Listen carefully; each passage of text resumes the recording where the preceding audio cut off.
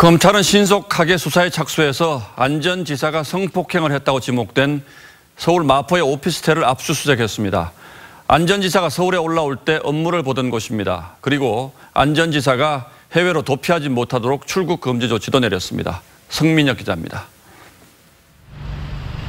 서울 마포구의 한 주상복합 아파트입니다.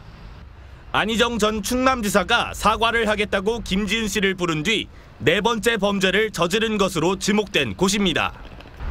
어제 수사에 착수한 검찰은 이곳을 첫 번째로 압수수색하고 CCTV 영상을 확보한 것으로 전해집니다.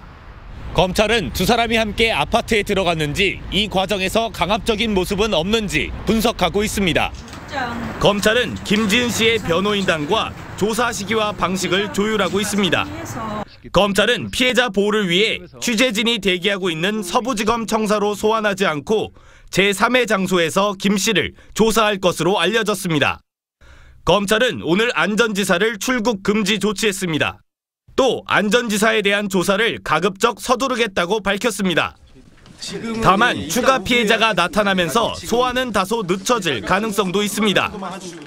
안전지사에게 성폭행을 당했다는 더 좋은 민주주의 연구소 전 직원 A씨도 조만간 서부지검에 고소장을 제출할 예정입니다. TV조선 성민혁입니다.